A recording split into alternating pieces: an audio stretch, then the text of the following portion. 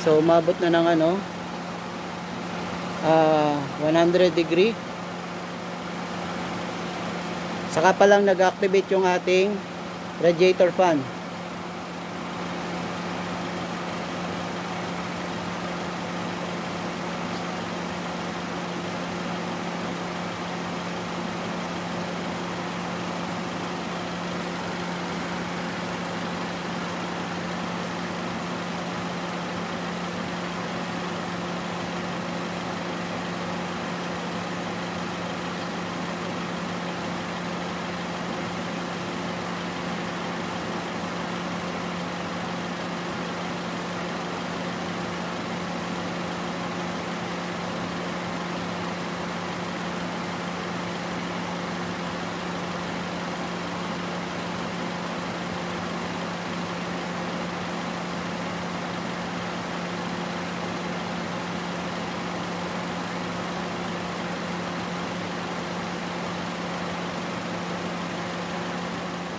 So 97 na siya. Ang engine coolant natin. Hintayin lang natin umikot yung ating radiator fan. Yan 98 na.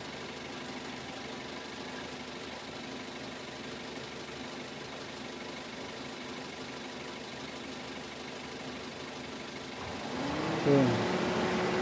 So dapat ito bumaba.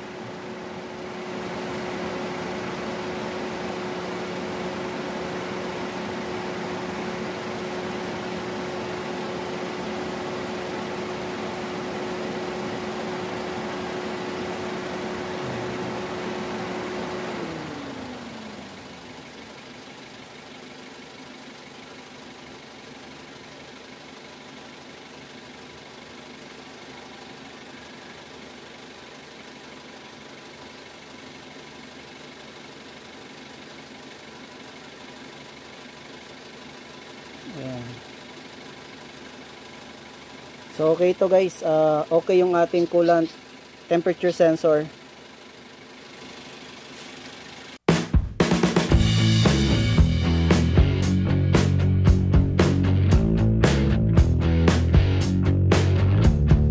So gagamitin natin to guys. Ayan, explain ko sa inyo kung paano to gamitin. Ayan, so buksan lang natin to dito.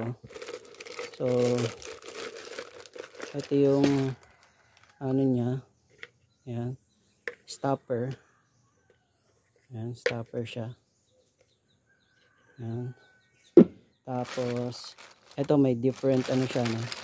Takip. Ayan. Pwede natin gamitin. Ayan. So, maghahanap tayo dito para sa ating Avanza. Ayan. So yun guys, no, kukunin lang natin to. So kung titingnan natin kung ito ba. Ayan. Maliit siya. So hindi naman ito. So ito lang yung pagpipilian natin at saka to. So ayan siya. So ito yung gagamitin natin. Ayan. Tapos yung lalim nito, ito hindi naman to pwede. Ayan o. Kasi dito yan eh. Ayan o. So, hindi siya pwede. Tapos, ito naman, ayan. Hindi rin pwede. Ayan o. Hindi siya pwede. So, hindi natin to gagamitin. Ito naman, hindi rin. Ayan o. Hindi siya pwede.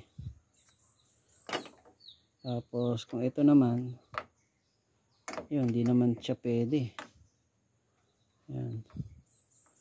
So, gagawin natin, ito, ang natitira. So, ayan, pit na pit siya, no? Ayan, o. Ayan.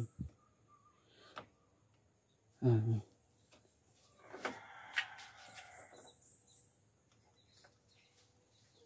Mm. Ayan, pit na pit siya. Tapos, ah, yan, lalagay lang natin yan. Yan. So, para hindi masayang yung ating coolant na ilalagay.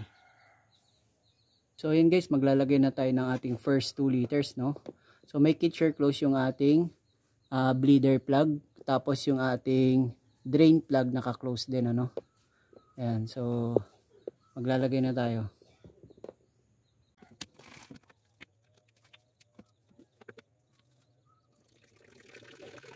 Kasi may ibang malas, ganun lang dito, gamitin nyo. Yan.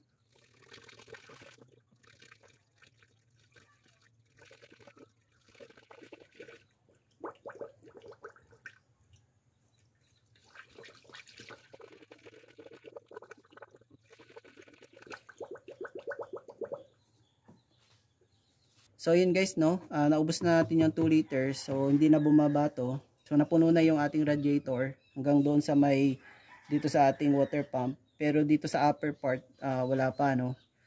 So ang gagawin natin maglal maglalagay tayo ng 1 liter. Tapos uh, paanda rin natin yung ating makina. Tapos check natin kung meron pa bang uh, hangin doon sa loob ng ating cooling system. So yun yung gagawin natin. So ito na yung uh, pangalawang 2 liters.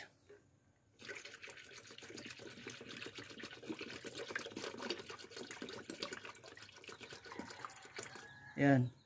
So, pandarin lang natin yung ating makina. Then kapag hindi na siya, pag bumaba siya, dadagdagan natin. Pag hindi na bumaba, kung ano sobra, ilalagay natin dun sa ating reservoir. Ayan.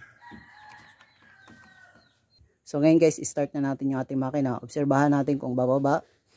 Tapos kung hindi na siya bumaba, uh, dapat wala na siyang bubbles. Ayan. So ibig sabihin, wala nang hangin yung ating cooling system.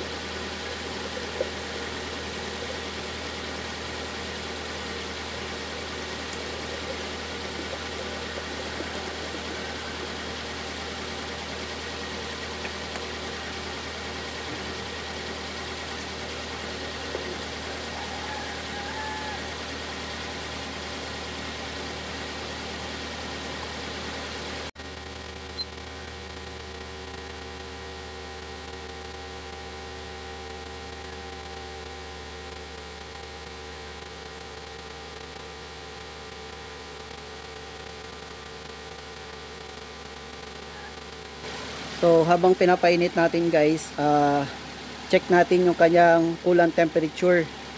I-graph natin siya. Yan, abansa. Uh,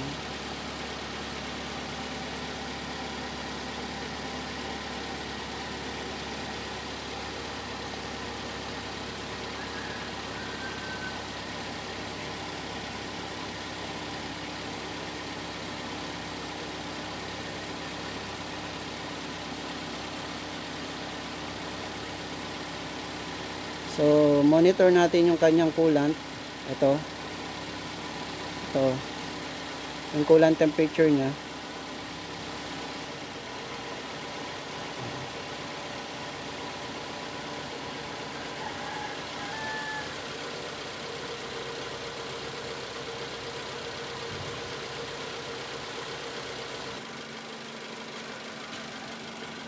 So, ngayon guys, yung kanyang coolant temperature nasa mga 80 degrees Celsius.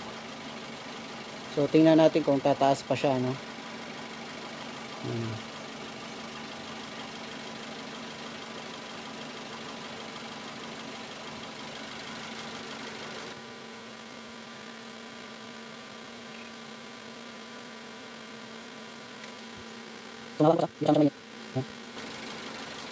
So, yan, kailangan ayan o.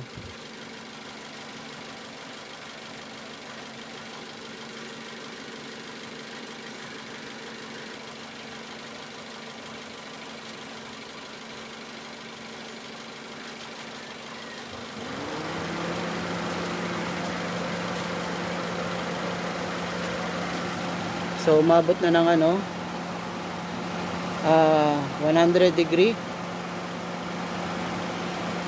Saka pa lang nag-activate yung ating radiator fan.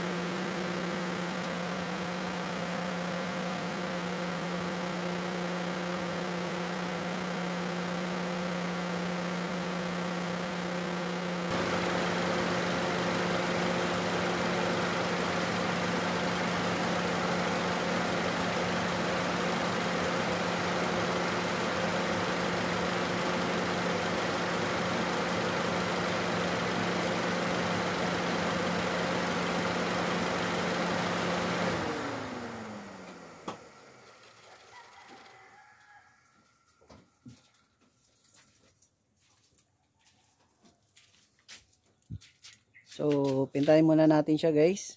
Ayan. So, ayan guys no. Uh, pinatay ko muna yung ating makina. So, i-cool down muna natin siya. Huwag muna natin siyang tatanggalin agad kasi medyo mainit pa eh. Tapos yung sobra, ilalagay natin dun sa ating reservoir. Tapos pa, lalagyan na natin yung kanyang original na takip. Tapos yung bleeder valve natin, yan, close. Make it sure na hindi siya walang leak. Tsaka yung ating drain plug, yan.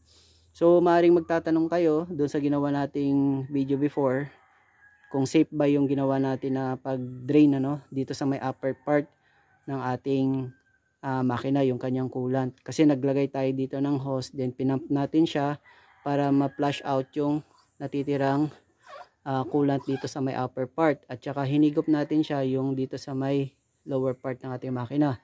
So, dalawa yung posibleng maapektuhan dyan na sensor yung temperature sensor ng coolant at saka yung thermostat.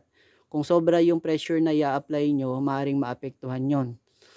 So, kaya yung ginawa ko, yung gamit ko kanina is, uh, yun, hand pump lang yon.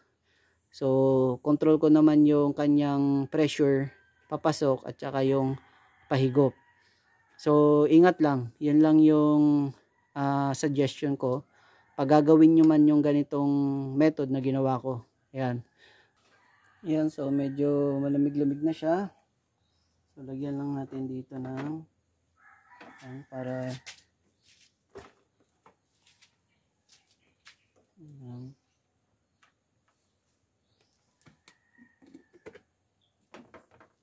Tapos ipa-plug natin to.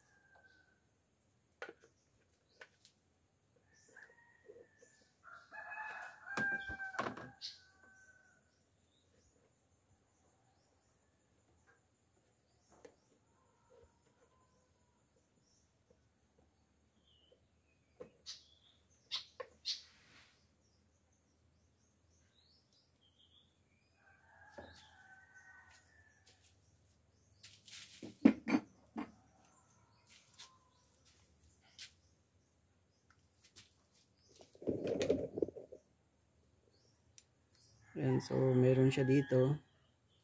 So babalik na natin to. Ayan.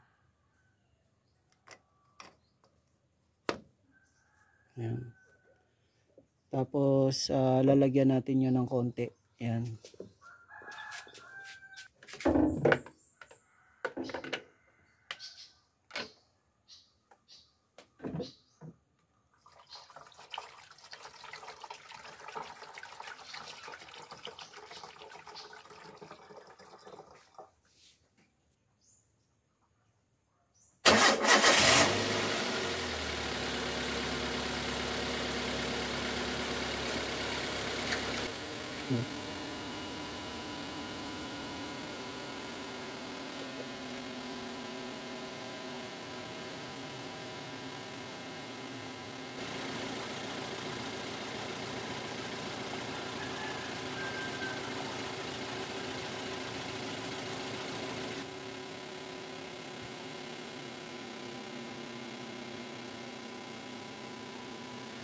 So yun guys, binalik na natin yung original. Pinander natin. Tapos tingnan natin yung kanyang, eto, yung kanyang coolant temperature. So nasa mga 91. So hindi pa nag-start yung ating coolant ah, radiator fan ano. So tingnan natin.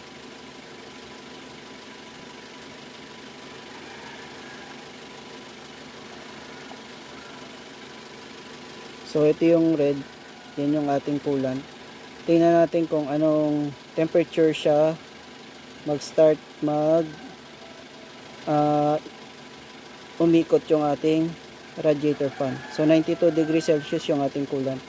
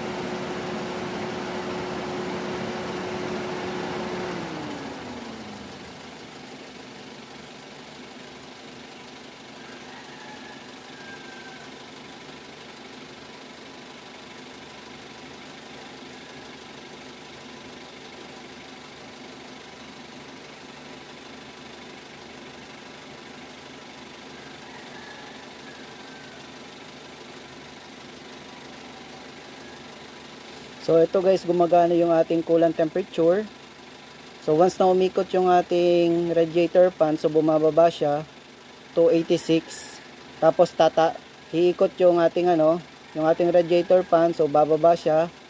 Then tataas na naman to ng 97 or 98. 97, 98 iikot yung ating radiator fan. So yan, so ma masasabi natin na yung ating coolant uh, temperature ay okay. So hindi siya naapektuhan dun sa proseso ng pag-drain natin ng ating coolant, no? So okay yung ating coolant temperature.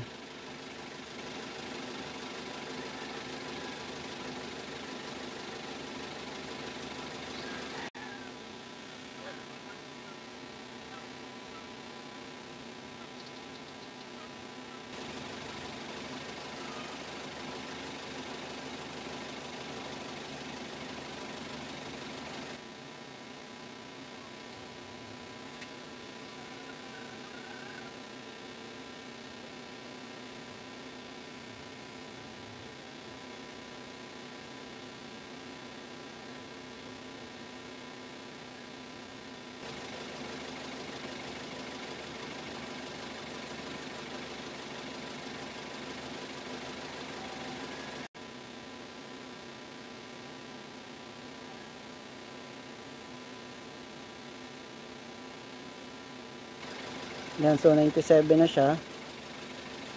Ang engine coolant natin.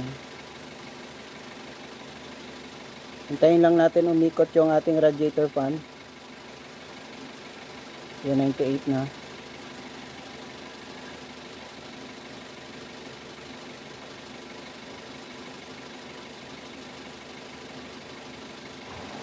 Yun. So dapat ito bumaba.